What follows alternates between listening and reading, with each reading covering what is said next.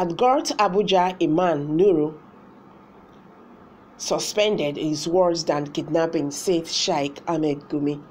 You see this thing when they talk, say all of them are the same thing, eh? no be saying a lie, or these people they know their clique. Anybody who tries to speak the truth, he becomes a black sheep of the family. Because this Imam has been speaking the truth to the government. He did not started it today. For a long time, he has been criticizing this government, you know, asking them to do the needful about the insecurity issue and other challenges in Nigeria. You you understand that the government will always, you know, keep deaf ears. They are pretending to, you know, to, to, to be fighting corruption, but they are the worst corrupted government so far in the history of this country. Bandits kill while they look the other way. This is really very bad. Now, this man don't they support the arts. He's even supporting why they sacked, uh, they, they suspended him. As I'm talking to you right now, he has been sacked. He has been banned from entering the mosque. He's against the Muslim law to speak against their leaders. Whether their leader they do bad you no get you no get the right to correct am. You no get the right tell am say oga wetin you dey do no good see as you go take do am. That is the reason why these people will not know the truth. They will never know the right thing to do because they are above correction. Controversial islamic scholar Sheikh Ahmed Gumi has reacted to the suspension of Chief Imam of Apo Legislative Quarters Mosque, Sheikh Nuru.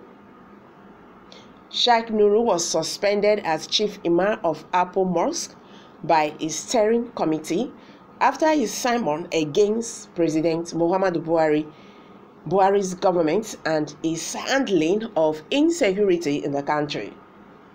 The cleric had knocked Buhari um, about not visiting Kaduna after an Abuja Kaduna train was attacked by terrorists last Monday. Eight persons were confirmed killed during the attack, while many were kidnapped by the terrorists. Before the train attack, some terrorists had also stormed the Kaduna airport, killing one person, and twice within 24 hours, bombs were discovered and disabled by the police in the state. The cleric had urged worshippers and entire Nigerians to shun the police in 2023 if the government fails to face the insecurity, the security problems and other challenges confronting the country. According to the committee, the Simon was capable of inciting public outrage. Many Nigerians have criticized the government for allowing the allowing the suspension of the cleric whom they have described as speaking truth to power. Reacting, Gumi, in an interview with Daily Post on Monday, described it as sentiment overriding intelligence. According to the controversial scholar, the Imam was wrong for trying to discourage Nigerians from participating in the election to vote out bad leaders, saying he is worse than kidnappers. He said it is course of sentiments overriding intellectuals, calling masses not to vote out the incompetent government by mass voting is worse than the few kidnappings and misplaced judgments. He has said. Meanwhile, Nigerians have this to say. Many are completely enslaved because of religion. Gumi and terrorists are arms of APC government. Imam, Nuru, sincere Simon, went against the terrorism business of Gumi and once you dare go you dare not go against Gumi's cash cow. He will crawl out from the trenches where he hides with the terrorist agent and attack the person. A man, do you want to do you want stop or close the business that Gumi has invested so much campaign, energy, time, and all that. Of course, you don't expect Gumi to keep quiet when his business is being threatened. Honestly speaking, I don't know what Nigerian government is waiting for concerning this man. Investigating this man has been long overdue. Every day this man makes himself even more questionable, but because nobody is currently responsible for Nigeria, he always gets away with it. Hmm. Not just go there because Gumi is untouchable. There is no gainsaying that there is something between this man and the present people at the helm of affairs in Nigeria. This is getting too much.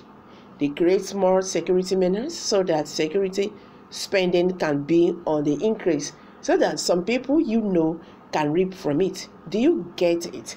If you don't, forget it.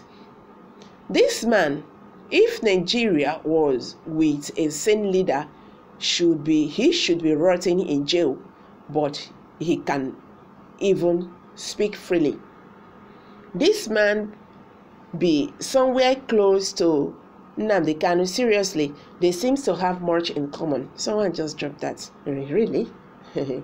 I don't think so. We know them when they speak. A country of double standard. A courageous man who spoke, a man who spoke, who speaks the truth to power, is suspended. Why a non-terrorist sympathizer is pampered? One of the many reasons we may never get it right exactly. It's not going to be easy. We may never get it right. That is the truth.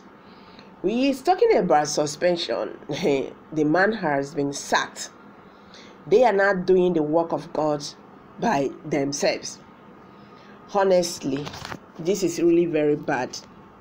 Those who have been speaking have continued to talk but they have been brandished the black the black sheep of the enemy. But those who have refused to keep mute are enjoying because they are the the nice people. But one day everybody will give account to their deeds on earth. And this bandit attack of a thing must surely get to every one of them. They will feel the pains I'm dropping it here, guys. Kindly share your thoughts with us below the comment section. Don't forget to give us thumbs up. Thank you so much. Bye for now.